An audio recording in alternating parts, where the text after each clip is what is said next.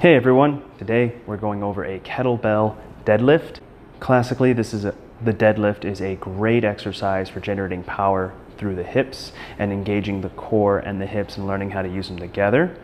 With that process, here at the office, we use the kettlebell deadlift to help engage good core stability and movement and help with a lot of problems that come from the back and the spine. So to do a kettlebell deadlift, find a weight that's comfortable for you. You're gonna just good form to pick it up.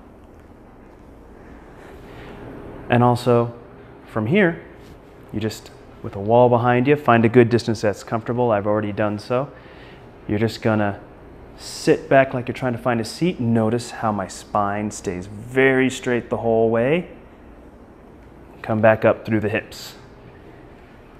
Nice, easy movement.